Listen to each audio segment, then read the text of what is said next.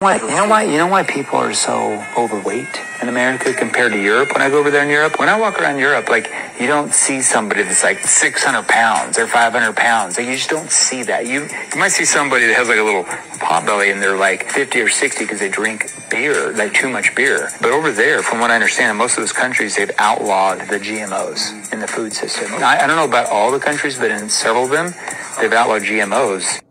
No, GMOs do not make you fatter. They're just genetically modified. There's not a fruit that you can get at the grocery store that is not genetically modified. Selective breeding is technically genetic modification. It's a broad term. But why do Europeans tend to be a little bit more slim than the average American? Well, there's several reasons. Number one is going to be step count. People in Western Europe tend to get over 6,000 steps per day, where the average American might get 4,500 to 5,000, and that is including big cities like New York. Outside of those big walkable cities, though, we still have a lot of small towns, a lot of you know, suburban areas where we're just getting around by car and we go park, go walk into a restaurant, and that's it.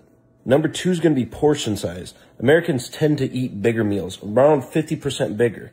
And when you're scarfing down food, because Americans like to eat at a faster pace than Europeans, it doesn't give your brain time to signal for satiety or feeling full. What that leads to is more overeating overall.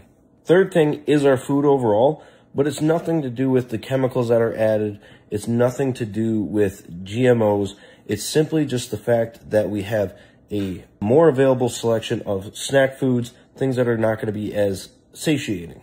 Also, the access to processed foods versus whole foods is a lot easier in America versus somewhere like Europe. They still have hyper processed foods and shit in Europe. What do you think bread is? The difference is, is that hyper processed foods in America are tend to be a little bit cheaper than whole foods here. Now, processed foods aren't making you fat, but what they tend to do is they strip away a lot of key vitamins, nutrients, things like that that are going to allow you to get fuller faster. And when you're fuller faster, you eat less. But when all that's stripped away, you eat more. Connect the fucking dots. So I think that in America, there is a really big thing to shove the responsibility away from yourself and just blame the government and blame these big corporations.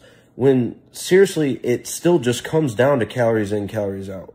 Does not matter what you eat. You can eat fucking Twinkies all day and still lose weight as long as calories are equated.